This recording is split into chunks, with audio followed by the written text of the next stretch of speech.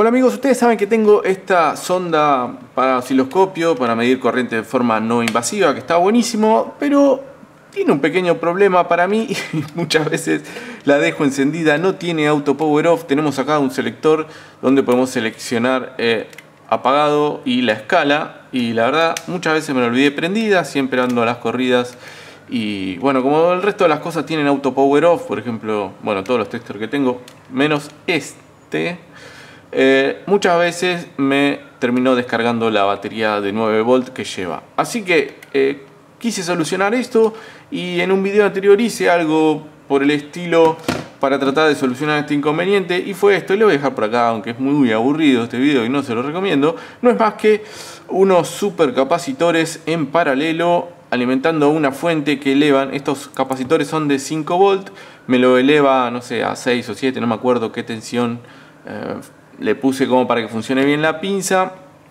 Y está bueno porque me da, no sé, no me acuerdo si dos minutos, la verdad ahora no lo recuerdo, pero no es muy práctico porque si bien esto está acá adentro, está buenísimo, cada vez que la quiero prender la tengo que cargar, sacar, eh, tendría que haber hecho una base para recargar esto y no tengo muchas ganas de hacerlo, entonces me quedaba medio engorroso también. Entonces cada vez que la quería usar tengo que sacar esto, cargarlo a 5 volts, volver a ponerlo, conectarlo. O bueno, poner mi fuente, conectar dos cocodrilos acá, conectar, alimentar a 5 volts. Se carga enseguida y es práctico, pero no tan práctico como tener un auto power off. Así que vamos a hacer un circuito de auto power off y está bueno porque es súper sencillo, son solo cuatro componentes. Acá lo tengo armado en el protoboard. Vamos a probarlo muy rápidamente antes de verlo en detalle. Voy a alimentar con mi fuente a 9 volt, que sería lo que me está simulando una batería. Acá tengo una. Em, ahí tenemos cero corriente porque no está activado. Tiene un pulsador que yo lo presiono y va a activar la salida. En este caso un simple LED con resistencia limitadora. Ahí se ve encendido. Y va a permanecer encendido aproximadamente por la resistencia del capacitor que le puse unos 2 minutos. Acá estoy verificando la tensión justamente en este circuito RC que alimenta el gate del MOSFET. Estoy utilizando un 2N7000, es este que ven acá. Y ahora, eh, como tengo también puesto el tester midiendo en ese circuito RC, el propio tester, la resistencia interna, si bien es alta, serán unos 20 megohm va a hacer que se descargue un poco más rápido. Ahora no va a durar los dos minutos eh, que debería, va a durar un poco menos y vamos a ver cómo cuando llega aproximadamente a los 2 volts el LED empieza a bajar su intensidad y después se termina apagando. Acá vemos que está consumiendo 5 mA en este momento y vamos a ver cómo se eh, termina descargando. Bueno, el circuito no es más que esto, que es súper sencillo. Tenemos el pulsador, nuestro RC, yo puse 10 microfaradios es este que ven ahí, y una resistencia de 6.8 mega ohmios. Está buenísimo, solo el pulsador, el cuatro componentes y lo tenemos funcionando. Ahí ya está bajando, no, todavía no. Ahí empezó a bajar 4 mA, 3 mA, 2 mA. Nuestro LED se empieza a descargar, perdón, a apagar porque se descarga el capacitor y ya en el gate de nuestro MOSFET no hay tensión suficiente como para que entre en conducción. Y buenísimo ahí lo tenemos funcionando. Así que ahora voy a armar esto en una experimental y vamos a ver si lo podemos montar dentro de la pinza cosa que va a estar complicado. Pero el circuito funciona perfecto. Y acá ya tengo la placa armada. La verdad que no se justificaba mostrar el, diseño ni mucho menos. Son cuatro componentes. Bueno ahí súper básico. Trate de hacerlo lo más chico posible porque, claro, recuerden que la idea es ponerlo acá adentro. Estaba pensando... uy, se me salió el botón. Lo mejor sería hacerlo en el frente, que me va a quedar cómodo. Y probablemente esta sea la ubicación, si es que funciona. Eh, más o menos algo así. Bueno, voy a tener que hacer el agujero, obviamente, para que salga el botoncito. Pero bueno, la idea es, si se puede montarlo de esa forma. Vamos a verificar si funciona. Con lo cual, acá estoy justo cargando una batería de 9 este, recargable. Probablemente utilice esa, que muchas veces la terminé descargando. Eh, vamos a conectar esto, creo que va así, ¿no? Nunca me acuerdo. Sí, correcto. Esto va así. Y acá tengo conectada la LED de vuelta para verificar efectivamente el funcionamiento. Presiono el pulsador. Recuerden que es un pulsador normal abierto. Cuando activamos se carga el capacitor y bueno, activa nuestro MOSFET.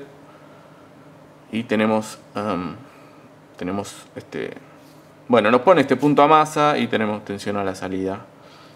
El positivo es común, o sea que ahora simplemente bueno, verificar que se descargue y que corte aproximadamente a los 2 minutos y este, lo voy a conectar acá a la placa que yo ya le saqué esto directamente acá de los bornes de alimentación que serían este y este de acá ¿Mm? está bueno porque este circuito se puede implementar en cualquier cosa en principio de 9 12 volts sin problema. Hay que ver cuáles son los límites del 2N7000 en cuanto a corriente y tensión, pero para lo que es instrumental de medición no van a tener problema, aunque claro, la gran mayoría tiene auto power off, no es el caso de esta sonda de corriente y por eso lo terminé haciendo. Así que, bueno, ahora voy a verificar que efectivamente corte en algún momento. Bueno, ahí está, corté el video, ya efectivamente tenemos nuestro LED de salida apagado 0 miliamperes de corriente así que excelente están dando. Bueno, hacer el agujero 3 milímetros acá en la perforación tornito de mano donde corresponda y listo. Y a probar bueno ahí ya tengo el agujero vamos a ver. Yo creo que va a entrar bien así que directamente voy a pegarlo. De alguna forma voy a tener que aislar esto para que no me toquen la placa de la sonda pero creo que va a andar bien. Creo que hay suficiente espacio así que ahí va queriendo más o menos. Sí, de alguna forma lo voy a aislar. Ya veré cómo lo hago.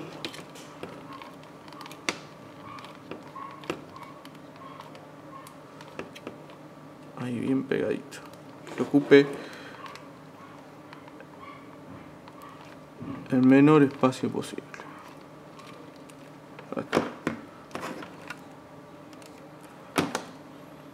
Sí, obviamente le voy a poner algo acá, un cartoncito, algo por las dudas si se despega, que no me toque en la placa. Aunque viendo, creo que no hay mucho.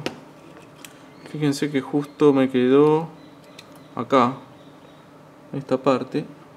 Así que no, no hay mucho que digamos por ahí.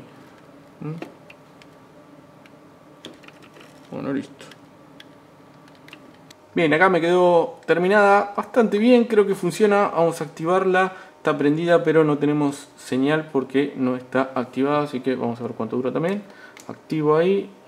Aproximadamente unos 2 minutos, lo que habíamos calculado. Esta es una lámpara mm, bajo consumo compacta o fluorescente compacta o ahorradora o como quieren llamarle no LED, muy raro para lo que es mi canal, era la que tenía a mano. Bueno, 72 mA es lo que dice ahí, eh, más o menos lo que estamos midiendo, 74 aproximadamente. Acá tiene 10 vueltas para darle una mejor relación señal-ruido. Multiplicamos 10 veces el campo magnético que genera y parecería que está funcionando bien, así que me parece un circuito súper útil y práctico para adaptarle a casi cualquier dispositivo que no tenga auto power off y se alimente de batería va perfecto, pueden modificar el RC para darle más o menos tiempo y mm, depende de las necesidades de corriente del dispositivo que quieran alimentar, quizás puedan eh, tener que modificar el, MOSFET, pero nada, súper fácil, modificando el MOSFET para los parámetros que ustedes requieran de tensión y corriente, les va a servir casi para cualquier cosa. Esta sonda aproximadamente creo que consume unos... Uh, 9 mA me parece que llegué a medir eh, y bueno, va perfecto. Así que, bueno, ahí está un poquito menos de lo que había calculado, un minuto 18, eh, ya nos quedamos sin señal. Pero de última modificaré esta resistencia si me molesta y le pongo un valor un poco más grande, pero está funcionando perfecto. Nunca más me quedaré sin baterías. Bueno, no al menos por dejarlo prendido. Y si son como yo, fanáticos, eh, va a haber un parámetro que les va a faltar en este video. Vamos a intentar develarlo en este momento. Fíjense, ahí tengo la pinza o sonda alimentada y está puesto en serie a la batería el tester. Estamos viendo la corriente que consume. Efectivamente ahora está activada, la acabo de activar. Está en unos 10 mA aproximadamente, pero la idea es tratar de ver si cuando este circuito se desactiva, después del minuto, dos minutos, lo que sea, eh, qué corriente nos sigue circulando, si corta bien, debe ser una corriente extremadamente baja, casi inmedible, eh, o directamente nula.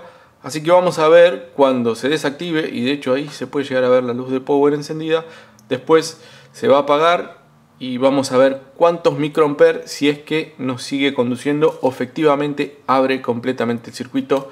Ahí se está bajando ya la luz de power. Se apagó todavía está conduciendo un poco muy poquito. Vamos a pasar a la escala de los microamperes esto es algo que no me gusta se pone en AC vamos a ponerlo en DC y ahí estamos en 70 50 40 30 20 10 9, 8, 7, 6, 5, 4, 3, 2. Sí, efectivamente, ya el circuito abrió. Nos queda nada. Eh, microamperes y probablemente se vaya a cero. Así que efectivamente, corta, perfecto. No se va a descargar la batería por más que lo dejemos años en este estado Así que nada, funciona espectacular. Mi auto power, auto power off. Y eso ha sido todo por este video, espero les haya gustado, si fue así no dejen de apoyarlo que eso siempre viene muy bien y compartirlo si creen que a alguien más les puede resultar interesante. Les voy a dejar por acá un botón para suscribirse, subo videos todos los miércoles y algunos especiales sorpresa y algún que otro video que también pueda llegar a interesarles. Como siempre dejen sus comentarios abajo, nos vemos la próxima, saludos y muchas gracias.